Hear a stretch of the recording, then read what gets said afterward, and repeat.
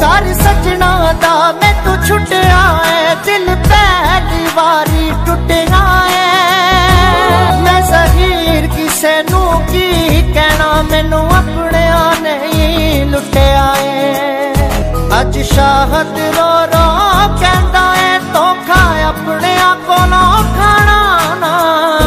ਅੱਜ ਛੱਡ ਜਾਣਾ ਤੇਰਾ ਸ਼ਹਿਰ ਅਸੀਂ ਕਦੇ ਫੇਰ ਪਰਤ ਕੇ